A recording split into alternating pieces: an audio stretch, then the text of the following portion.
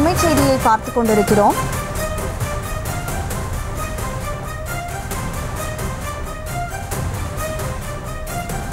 தொடர் கனமழை பெய்த நிலையில் திருவாரூரில் வயல்வெளி குளம் போல காட்சியளிக்கக்கூடிய அந்த காட்சிகளை நாம் பார்த்து கொண்டிருக்கிறோம். திருவாரூர் பகுதியில் தொடர்ந்து பெய்து வரக்கூடிய மழையால் விளைநிலங்களில் வெள்ளம் தேங்கி இருக்கிறது.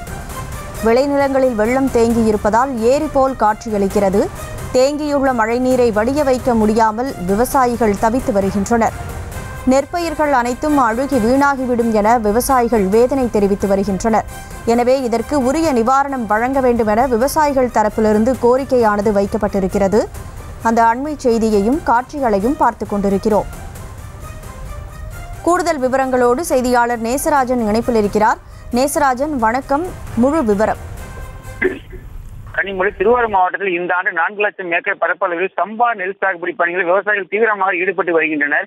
இந்த நிலையில் கடந்த ஒரு வார காலமாக திருவாரூர் மாவட்டத்தில் பெய்து வரும் கனமழையின் காரணமாக நெம்மேலி அதம்பார் வடக்குடி கம்மங்குடி நரிக்குடி ஜெகநாதபுரம் வேளங்குடி திருக்கொட்டாரம் பாவட்டக்குடி நாகராஜன் கோட்டகம் கள்ளிக்குடி முகந்தனூர் உள்ளிட்ட பகுதிகளில் பயிரிடப்பட்ட இரண்டாயிரத்தி முன்னூறு ஏக்கர் சம்பா நெல் பயிர்கள் மழைநீரில் மூழ்கியுள்ளது. இதனால் விவசாயிகள் வேதனை அடைந்துள்ளனர்.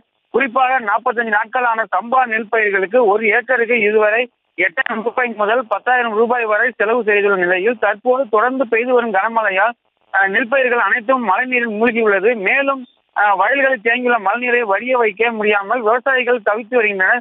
தொடர்ந்து இந்த மழை பெய்தால் நெல் பயிர்கள் அனைத்தும் அழுகி வீணாகிவிடும் என விவசாயிகள் வேதனை தெரிவிக்கின்றனர். மேலும் கிராமங்களில் உள்ள நெம்மேலி நெம்மலி வடிகால் வாய்க்கால் அது அதம்பார் வாய்- வடிகால் வாய்க்கால் முழுமையாக தூர்வாரப்படாததன் காரணத்தினால் மழைநீரை வடிய வைக்க முடியவில்லை என விவசாயிகள் குற்றம் சாட்டுகின்றனர். உடனடியாக வேளாண் துறை அதிகாரிகள் பாதிக்கப்பட்ட இடங்களுக்கு நேரடியாக சென்று கணக்கெடுப்பு நடத்தி உரிய நிவாரணம் வழங்குவதற்கான நடவடிக்கை மேற்கொள்ள வேண்டும் என விவசாயிகள் கோரிக்கை விடுத்துள்ளனர். கனிமொழி. விவரங்களுக்கு நன்றி நேசராஜன். தொடர்ந்து பாதிக்கப்பட்டவர்கள் அளித்த பேட்டியை பார்க்கலாம்.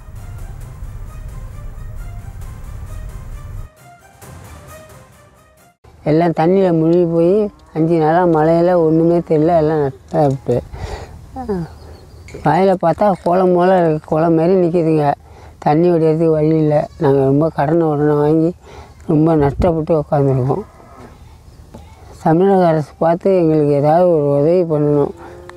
பின்னாடி இருக்கிற அஞ்சு ஏக்கரும் நான் தான் சாவடி பண்ணியிருக்கேன். ஃபுல்லாக ஒரு வாரம் மழையில் கிடக்கு முழங்கால் மட்டும் தண்ணியில் தான் இருக்குது அது திரும்பி தேருமா என்னான்னு தெரியல.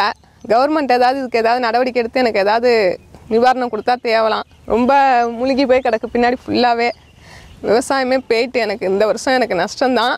நான் கடனை உடனே வாங்கி அவ்வளோ கஷ்டப்பட்டு செலவு பண்ணி தெளிச்சிருக்கேன். எனக்கு கவர்மெண்ட் பார்த்து ஏதாவது ஒரு நல்ல சலுகை கொடுத்து ஏதாவது நிவாரணம் கொடுத்தா என் வய வயல்னால பட்ட கஷ்டம் கொஞ்சம் குறையும்.